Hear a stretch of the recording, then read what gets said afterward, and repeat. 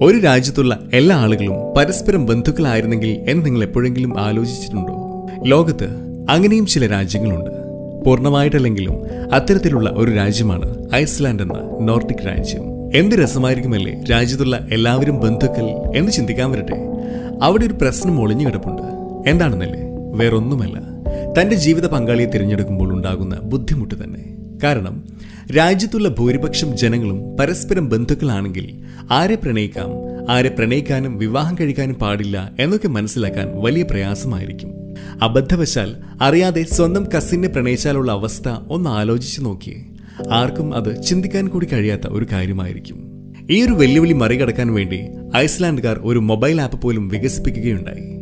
ഇന്നത്തെ നമ്മുടെ ചർച്ച രസകരമായിട്ടുള്ള ആ മൊബൈൽ ആപ്പിനെ കുറിച്ച് തന്നെ ആയല്ലോ. അതിനു മുൻപ് എന്തുകൊണ്ടാണ് ഐസ്ലാൻഡിലെ ഭൂരിപക്ഷം ജനങ്ങൾ പരസ്പരം ബന്ധുക്കളായി എന്ന് പരിശോധിക്കാം. നോർഡിക് രാജ്യങ്ങൾ ഉൾപ്പെടുന്ന ഐസ്ലാൻഡ് വലുപ്പത്തിൽ മുന്നിലാണെങ്കിലും അവിടുത്തെ ജനസംഖ്യ വെറും മൂന്ന് കോടി മൂന്ന് ലക്ഷം മാത്രമാണ്. കൂടാതെ ജനസംഖ്യയിൽ ഏറിയ പങ്കും താമസിക്കുന്നത് ഐസ്ലാൻഡിന്റെ തലസ്ഥാനമായ റൈക്ചാവിക്കിലാണ് ഒരു ചെറിയ സ്ഥലത്ത് ഇത്രയും ജനസംഖ്യ ഉള്ളതിനാലും കഴിഞ്ഞ കുറച്ച് വർഷങ്ങൾ ഒഴിച്ചാൽ മുൻപുള്ള നൂറ്റാണ്ടുകളിൽ പറയത്തക്ക കുടിയേറ്റങ്ങളോ ഒന്നും തന്നെ ഉണ്ടാകാത്തതുകൊണ്ട് തന്നെ ഇവിടുത്തെ ജനങ്ങൾ വിദൂരമായോ അടുത്തായോ ബന്ധുക്കളായതിൽ അതിശയിക്കാനൊന്നുമില്ല. ഒമ്പതാം നൂറ്റാണ്ടിൽ ഐസ്ലാൻഡിൽ കുടിയേറിയ സമുദ്ര സഞ്ചാരികളാണ് ഐസ്ലാൻഡിലെ ആദ്യ താമസക്കാർ എന്നാണ് ചരിത്രരേഖകളിൽ പറയുന്നത്. എ ഡി എണ്ണൂറ്റി എഴുപത്തിനാല് മുതൽ എ ഡി തൊള്ളായിരത്തി മുപ്പത് വരെ ഇത്തരത്തിൽ കുടിയേറ്റം നീണ്ടുനിന്നു എന്നാണ് കണക്കാക്കുന്നത്.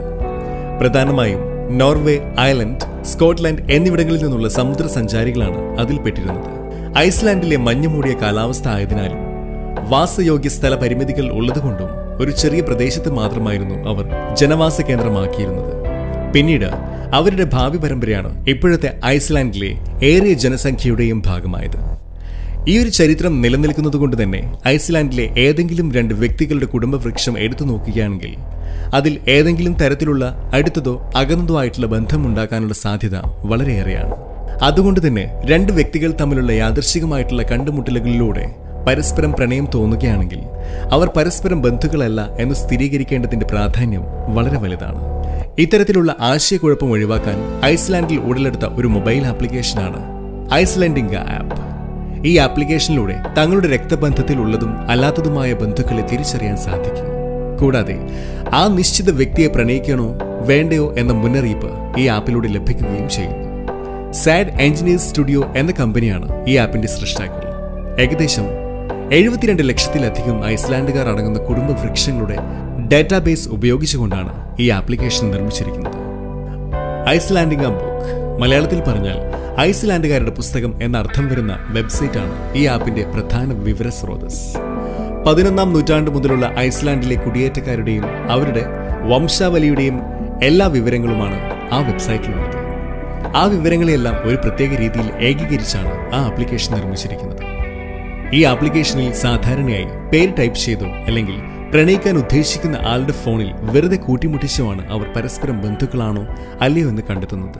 ഇതിലൂടെ ഒരേ രക്തബന്ധത്തിലുള്ള രണ്ട് വ്യക്തികൾ അറിയാതെ പ്രണയത്തിലാകുമ്പോൾ ഉണ്ടാകുന്ന അരോചകാവസ്ഥയും നിസ്സഹായാവസ്ഥയുമാണ് ഇല്ലാതാക്കുന്നത്. ഈ ആപ്ലിക്കേഷൻ കൊണ്ടുള്ള മറ്റൊരു പ്രധാന ഉപയോഗം എന്നത് മറ്റൊന്നാണ്.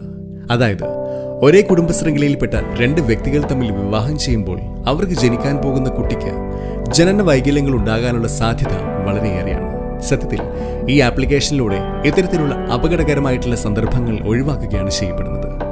ഇന്നത്തെ വീഡിയോയിലൂടെ നിങ്ങൾക്ക് ഐസ്ലാൻഡ് എന്ന രാജ്യത്തെക്കുറിച്ചുള്ള പുതിയൊരു വിവരം ലഭിച്ചു എന്ന് ഞങ്ങൾ കരുതുന്നു.